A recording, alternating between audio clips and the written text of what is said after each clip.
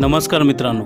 मित्रांनो आजच्या व्हिडिओमध्ये आपण पैलवान मारुती माने यांच्याबद्दलचा पत्रकाराने सांगितलेला एक किस्सा ऐकणार आहोत. म्हणून मित्रांनो हा व्हिडिओ तुम्ही शेवटपर्यंत पाहावा ही नम्र विनंती. मित्रांनो हिंद केसरी मारुती माने म्हणजे कडव्या शिस्तीचे चालते बोलते विद्यापीठ होय. अंग मोडून रानात काबाड कष्ट आणि तालमीच्या मातीत रक्ताचे पाणी होईपर्यंत मेहनत आणि एवढे करूनही पोटाला एक वेळची भाकरी मिळायची मुश्किल असा एक काळ होता मारुती माने यांच्या आयुष्यामध्ये. वडील ज्ञानू माने यांनी लहानपणापासून कडव्या शिस्तीत वाढवल्याने एक वेळ घरात खायला अन्न नसेल तरी चालेल पण दुसऱ्याच्या दारात जायचे नाही किंवा लाचार होऊन दुसऱ्याचे घ्यायचे नाही असा शिरिस्ता होता. मारुती माने वडिलांना प्रचंड भीत असे. रानात मजुरी करायचे आणि तालमीत कुस्ती. त्यामुळे तरुण सळसळते रक्त साहजिकच उसळी मारणार. जीवनाची मस्ती तालमीच्या मातीत दाखव असा वडिलांचा शिरस्ता होता. त्यामुळे भांडण दंगामस्ती आयुष्यात खूप केली. पण कुठल्या माता भगिनींकडे वाईट नजरेने बघितले नाही. तो काळ होता हेमा मालिनीच्या सुप्रसिद्ध चित्रपटाचा काळ. हेमा मालिनीने जणू साऱ्या भारताला आपल्या सौंदर्याची भुरळ घातली होती. साहजिकच चित्रपट सोडून मोठमोठे व्यावसायिक आयोजक त्यांच्या नृत्याचे कार्यक्रम जिल्ह्याच्या ठिकाणी ठेवत असे. सांगली येथे एके दिवशी हेमा मालिनी यांच्या नृत्याचा कार्यक्रम ठरला होता. कवटेपिरान ते सांगली म्हणजे जास्तीत जास्त तीन ते चार मैल. मारुती माने आणि तालमीतली मल्ल यांच्या कानावर हा कार्यक्रम होणार अशी चर्चा गेली. भाऊंची पण खूप इच्छा होती. पण घरात वडिलांना काय सांगायचं? वडिलांना सांगितले तर मार खायला लागणार होता. कार्यक्रम तर बघायचाच होता.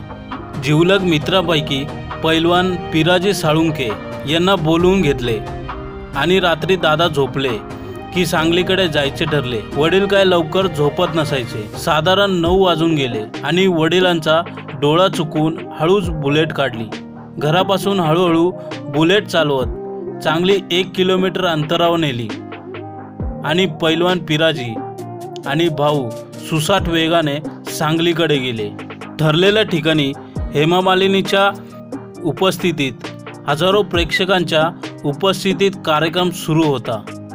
भाऊंची बुलेट वाजली आणि कार्यक्रमाच्या ठिकाणी कुजबूज सुरू झाली की कवट्याचे पैलवान मारुती माने आले आहेत. तो काळ म्हणजे भाऊंच्या शड्डूचा धुतकाराने घुमत असलेला होता.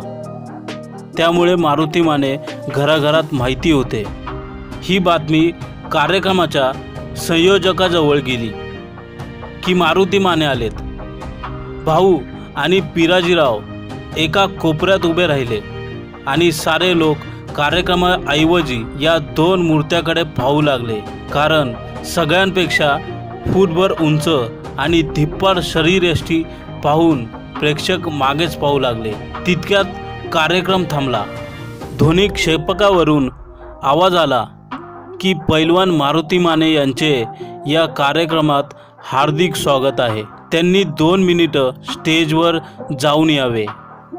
हे ऐकल्यावर मारुती माने पिराजीराव एकमेकांचे तोंडे पाहू लागले. पिराजी म्हणाले भाऊ जावर भाऊ म्हणाले अरे मी काय नाही बाबा. पिराजींनी दंड धरून स्टेजवर जायला सांगितले. इतक्यात संयोजक स्वतःहून पुढे आले. भाऊ स्टेजवर गेले.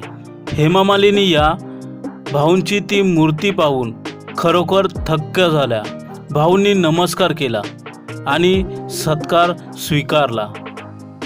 दोन शब्द बोलण्याची विनंती आयोजकांनी केली आणि भाऊंनी हातात माईक घेतला आणि बोलू लागले.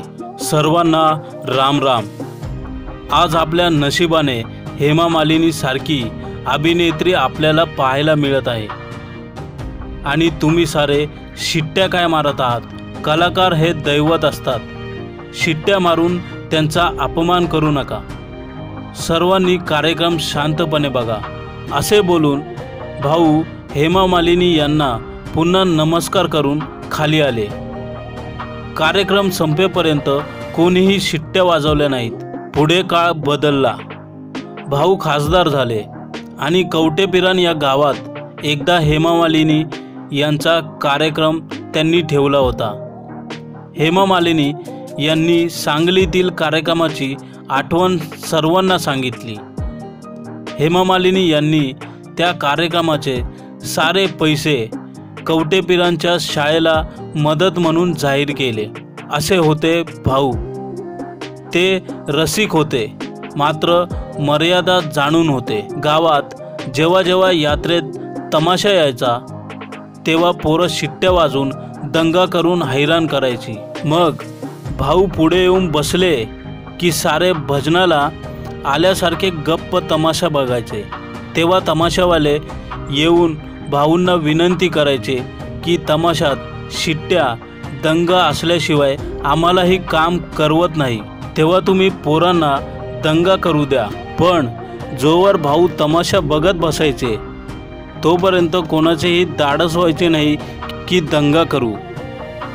भाऊ निघून गेले की परत दंगा सुरू. तर मित्रांनो असा होता तो भाऊंचा पत्रकाराने सांगितलेला रोचक किस्सा. तर मित्रांनो हा व्हिडिओ तुम्हाला कसा वाटला हे नक्कीच तुम्ही मला कमेंटद्वारे कळवा की तुम्हाला हा व्हिडिओ कसा वाटला. आणि मित्रांनो जर तुम्हाला हा व्हिडिओ आवडला असेल तर नक्कीच या व्हिडिओला लाईक करून जास्तीत जास्त शेअर करायला विसरू नका. कारण आपल्या या चॅनलवरती अशाच प्रकारचे महाराष्ट्र केसरी हिंद केसरी किंवा रुस्तमे हिंद अशा प्रकारच्या पैलवानांची माहिती मिळत असते. म्हणून या व्हिडिओला लाईक करून जास्तीत जास्त शेअर करायला विसरू नका. आणि जर तुम्ही चॅनलवरती नवीन आला असाल तर या चॅनलला सबस्क्राईब करायलाही विसरू नका. तर आपण भेटूया पुढच्या पैलवानासोबत. पैलवानांच्या माहितीसोबत.